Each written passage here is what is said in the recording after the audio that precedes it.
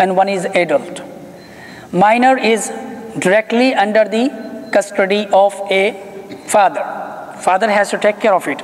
Adult, if still his father has to take care of him, for example, he is handicapped, he cannot earn money, he cannot do anything, then zakat can be cannot be given to him either. But if he is an adult and he can earn himself, he is free, then his son who is adult can be given zakat even if his father is a millionaire.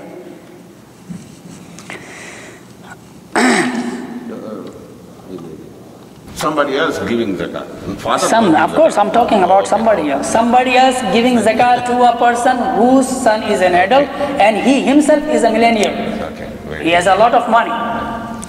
It may not be paid to Banu Hashim, Sadat, and they are the household of Ali radiallahu anh, the household of Abbas radiallahu anh, the household of Jafar Sadiq radiallahu anh, the household of Harith ibn Abdul Muttalib, nor to their freed slaves. They are under the category of Sadat, and the Sadat cannot be given any zakat.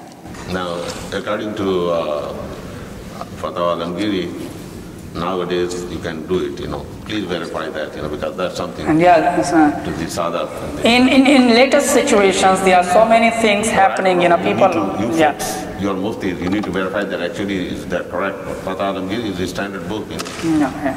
The fatwa is not, So, Huh? fatwa is do, not on that. does this category get the Most of the fatwas, they don't support that. the ones that you Oh, just that- said that couldn't get the zakat? It is, mm, we are talking about the zakat. Oh, okay. We are not talking about the khums. Oh, okay. Khums is something else. But you can give charity to the Banu Hashim. Yeah, you can give charity. Charity is something, you can give a charity like, you know, sadaqah or, you know, gift, hadiah, you can give it to them. But you cannot pay zakat to them. But nowadays, situations are changing, people are in need. They are, there are so many people, even in Sadat, they are miskin, they are poor, and according to their situations, the ulama nowadays says that you can pay zakat to them. Abu Hanifa and Muhammad Ali Rahmah said, if one pays zakat to a man whom one thinks to be poor and then it transpires that he is a rich person or a, he is from Banu Hashim or he is an unbeliever or if one pays zakat in the darkness to a poor person and in the morning it transpired that he was his father or his son. In the dark he gave the money thinking that this is a poor person came to his home and in the morning it came up to light that this was his own father or his own son. Then repeating zakat in all these circumstances is not obligatory. Upon him his zakat is waived. No, except for kafir. Others are not repeatable, but if you by mistake gave it to kafir, that zakat has to be done. I think that's an exception, or the check use. Non-Muslim. non-muslim That's I will only verify it but uh, okay inshallah we'll verify about it but all these other categories uh, if you pay zakat them mis- by mistake either in darkness or thinking something else and then it transpires otherwise afterwards then your zakat is paid you are waived from your obligation and according to Abu Yusuf Ali Rahma, repetition is obligatory upon him. And if one pays zakat to a person and then he learns that he is his own slave or mukatab, it is not valid according to the verdict of them all because the money is his. Money comes back to him. So his zakat is not paid. Slave's money is his money. Mukatab money is his money. Then, because even if it is mukatab and he is paying him, but the money will return back to him. Then, in, in this case, if one pays zakat to his own slave or mukatab, then the zakat will not be paid on his behalf. He has to pay it back. It's not permissible to pay zakat to anyone who possesses the nisab of whatever type of it, wealth it may be. As we have discussed, if somebody is rich enough to pay zakat if he is the owner of a nisab, minimum nisab even though, of amount of whatever silver or gold we have discussed, then if you are paying zakat to him, your zakat will not be paid and you have to pay it back. It is permissible to pay zakat to anyone who possesses less than that, even if he is healthy and earning. Now, we have misunderstanding that, for example, somebody comes to us for zakat and he has a family, large family. He has, for example, five, six kids, and he has a job. He earns money. He has a car. He has all things which are oblig- which are necessary for life, but he is not the owner of nisab. He is the malik of nisab. Then your zakat can be paid to him. So there are some people who've come that he is healthy, he is earning, he has money, he is feeding his kids. You know, why should, pay, should we pay zakat to him? If he is not the malik of nisab, still you can pay zakat to the person. But preference, huh, Can you define the Malik of Nisab one more time?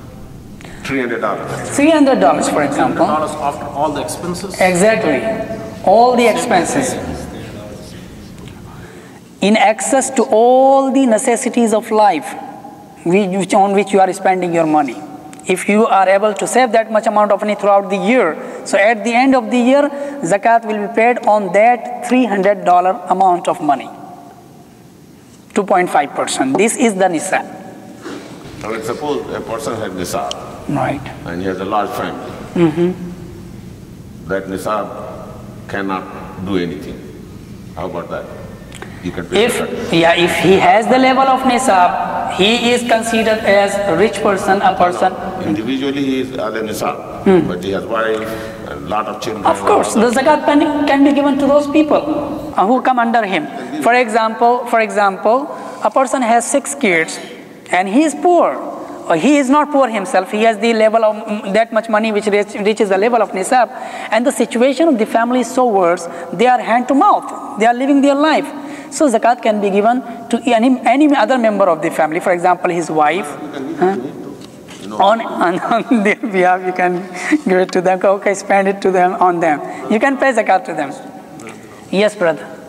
Uh, um, on the nisab, the zakat is due if you reach the level of nisab. Minimum nisab. Right, and that is after debts have been paid. Exactly, exactly. Such and such. So, say for instance, an obligation like Hajj or a kafara, does this exempt Mm-hmm. No. you from zakat, or do you have to go to Hajj Yeah, yeah. and first, or Uh, this is very, very important question. Very important question. We have to be very much careful about. Uh, the question is that, for example, if you have the nisab and it is in excess to all the, um, beyond all the debts and every expenses you have alhamdulillah enough amount of money upon which zakat is obligatory. Means you are a wealthy person in sharia of islam. But you have to go for hajj for example. Or for you have to pay for some kafara for example during the month of ramadan you missed uh, roza on which kafara becomes wajib then you have to do some certain things and you have to feed some certain amount of people and you have to pay that much amount of money on them what about those people? Sharia is very much clarified. Then, when it comes to the obligation of Allah and to the obligation of ib- um, um, the servants of Allah, عباد آه. حقوق العباد حقوق يعني الله